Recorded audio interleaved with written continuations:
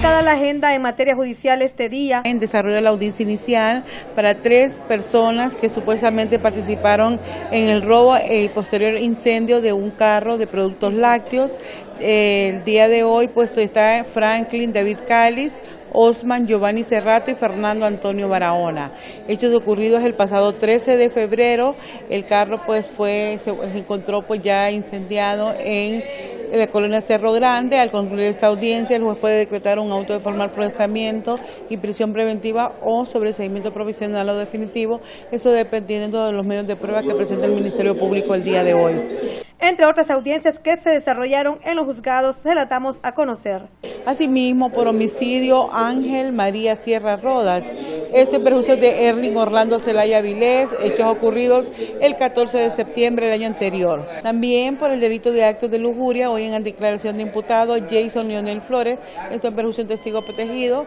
Esta persona pues supuestamente interceptó a una joven y la despojó de sus eh, pertenencias y también aprovechó pues hacer, eh, a tocarle sus partes íntimas. Por extorsión continuada, hoy se encuentran, hay dos audiencias. La primera para Santos Armando Escoto y Juan Carlos Rodríguez, quienes fueron detenidos el 13 de febrero en la colonia Kennedy, con evidencia que eran mil empiras que estaban pidiendo semanalmente al testigo protegido. Ellos de inicio pidieron la cantidad de 100 mil empiras.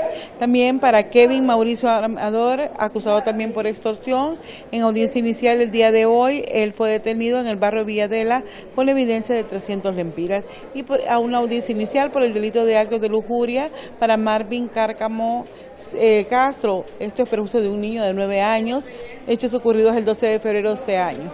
En los juzgados unificados fueron cinco audiencias iniciales y una de declaración de imputado. Entre tanto, en la Corte Suprema de Justicia, en las salas de juicio oral y público, se desarrollaron ocho audiencias, entre las más importantes cinco de apertura de juicio oral y público por los delitos de extorsión, asesinato en grado de tentativa en perjuicio de testigo protegido, otra por usurpación, otro juicio por asesinato en perjuicio de Rixi Merari Rivera y el quinto por falsificación de documentos públicos en perjuicio del Estado.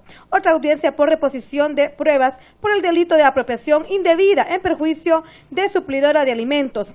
En la sala 1 se determina pena contra Michael Martínez Ponce y Germán Amador Mejía por el delito de asesinato en perjuicio de tentativa, en perjuicio de José Martínez Espinosa, Héctor Vladimir Cortés y testigos protegidos.